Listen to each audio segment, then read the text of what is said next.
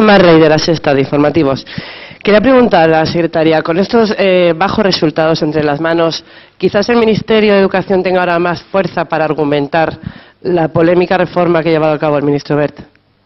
Bueno, nosotros siempre hemos mantenido eh, que todas las propuestas que nosotros hemos hecho se han hecho después eh, de análisis muy profundos de todas las eh, comparativas internacionales. En ese sentido, todos los estudios de la OCDE, no solo PISA, PILS, TIMS, PIAC, que presentamos hace unas semanas, el PISA para adultos, proveen una evidencia muy robusta, muy objetiva y muy sólida en la que por una parte, eh, saber en, qué, posición ocupa nuestro país,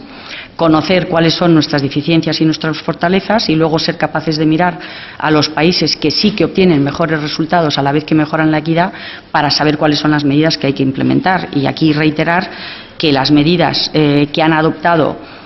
todos los países que han implementado reformas educativas, que son muchos, eh, porque otra de las cuestiones que normalmente se critica es que eh, realizar reformas educativas es malo para el sistema porque crea inestabilidad. Bueno, lo que nos dicen estos datos cuando miramos a todos esos países que han mejorado tanto en rendimiento como en equidad es que hay muchos países que han estado implementando reformas educativas en los últimos años y que cuando esas reformas tienen los ingredientes adecuados eh, conducen a una mejora de los resultados y a una mejora de la equidad. Y obviamente es a esos países a los que miramos como modelo, no utilizamos uno de ellos como modelo, sino que utilizamos una combinación de todas aquellas medidas que vemos que de forma consistente dan lugar a una mejora de los resultados para ver si se pueden aplicar a nuestro país y proponer nuestras reformas. Y simplemente insistir en que las tres cuestiones que nosotros planteamos más importantes, cuatro, flexibilización, autonomía, rendición de cuentas y evaluación, eh, son precisamente las medidas que se han demostrado en este estudio de PISA y ya en los anteriores que conducen a una mejora de los resultados y esas son las principales propuestas de la LOMCE. Diario ABC. Quería preguntar, eh, bueno, el señor Cedo ha apuntado que la mejora de la calidad del profesorado es una de las posibles vías de mejora de los, del rendimiento de los alumnos. Quería saber en ese sentido el Ministerio cuáles son las, las propuestas las fórmulas que, prevé, bien en la LONCE o no sé si tal vez dentro del, del Estatuto del Docente que está todavía en negociación. Gracias. ¿Querías hacer una introducción o algo? Eh, de acuerdo. Eh, en ese sentido, lo que se observa en los, los países eh, con, mejores, con mejores resultados en PISA es que la carrera docente está profesionalizada. es una carrera atractiva para los mejores alumnos universitarios, en el sentido de que es, un, es una carrera donde hay posibilidades eh, de seguir aprendiendo durante, durante toda tu carrera lectiva, donde hay posibilidades de avanzar, donde hay posibilidades de asumir nuevas responsabilidades y, progresar. y por lo tanto, eh, también es un tema, eh, otro tema que me gustaría destacar es la formación profesional. son sistemas donde la formación profesional es constante, es continua, donde los propios docentes juegan un papel muy importante para mejorar la calidad de, sus compañeros, donde es fácil em, identificar a aquellos que eh, están consiguiendo buenos resultados y aprender de ellos. Y hay mecanismos que facilitan estos, em, esta colaboración y este aprendizaje mutuo dentro de los centros y entre centros. Eh, bueno, en, la LOMCE eh, se, incluyen eh, relativamente pocos temas porque esto se considera de suficiente importancia como para que sea la siguiente norma importante que se va a abordar por parte del equipo ministerial, que es el Estatuto del Docente, y ya hemos tenido varias reuniones con los sindicatos y la última, si no recuerdo mal, o esta semana o la semana pasada.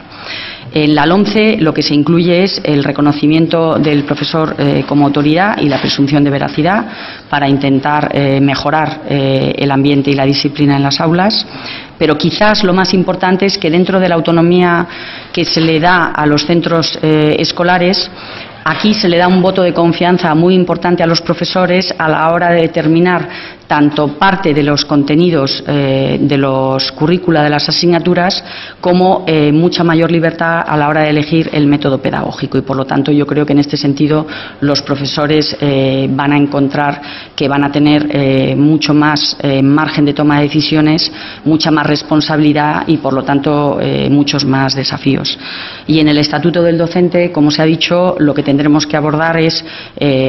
cómo podemos mejorar el sistema de, acceso a la función docente eh, para garantizar eh, que es atractiva eh, y que acaban incorporándose a nuestras aulas los mejores. y por otra parte, en el tema salarial, puesto que se ha puesto de manifiesto que no tenemos un problema en el sentido de que el salario de nuestros profesores está por encima de, la media de la OCDE, yo creo que donde tenemos un problema es en la falta de incentivos, en que, en que el incremento salarial y las promociones de los profesores tienen que ser un incentivo para la mejora que en este momento eh, no tienen los profesores, puesto que la carrera docente es una carrera muy plana en ese sentido. Eh, las mejoras salariales y las promociones son muy limitadas desde el momento que un profesor entra a la carrera docente hasta el momento que se jubila. Y quizás es en el ámbito de los incentivos donde tenemos que trabajar eh, con más esfuerzo.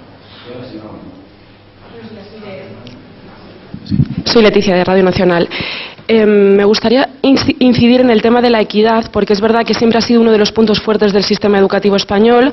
Eh, si el sistema sigue siendo el mismo desde 2009, se puede interpretar que la pérdida de equidad se puede deber a la crisis o a los recortes.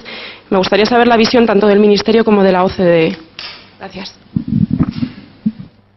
Em, en ese sentido, la prueba se realiza en el 2012, a principios de 2012, entonces yo creo que es demasiado pronto para saber si ha tenido un impacto o no, eh, si la crisis ha tenido un impacto o si, los recortes eh, tendrán un impacto en el futuro, puesto que hasta el momento no ha habido, no hay cabida.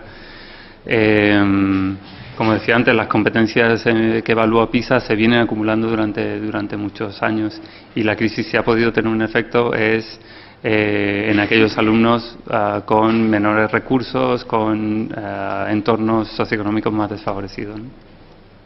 Aquí simplemente decir, no, no, tenemos la respuesta a esa pregunta todavía, de qué es lo que ha hecho eh, que el sistema pierda en, equidad sin mejorar los resultados, pero sí hay un factor eh, que yo no he mencionado en la presentación, donde se ha incrementado mucho, que es la, proporción de alumnos inmigrantes.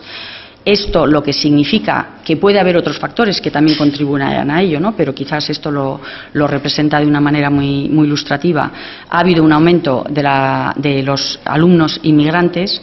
esto probablemente ha llevado a una mayor diversidad del, alumnado que hay en nuestras aulas y un sistema rígido que no tiene sistemas de evaluación temprana para poder detectar los problemas, quizás es menos capaz de lidiar eh, con esta mayor diversidad que en este momento tenemos en las aulas. Pero eh, digamos que es una hipótesis desarrollada sobre la marcha porque es uno de los factores que no he mencionado en la, en la presentación, pero donde claramente tenemos un crecimiento mayor que en otros países de la OCDE.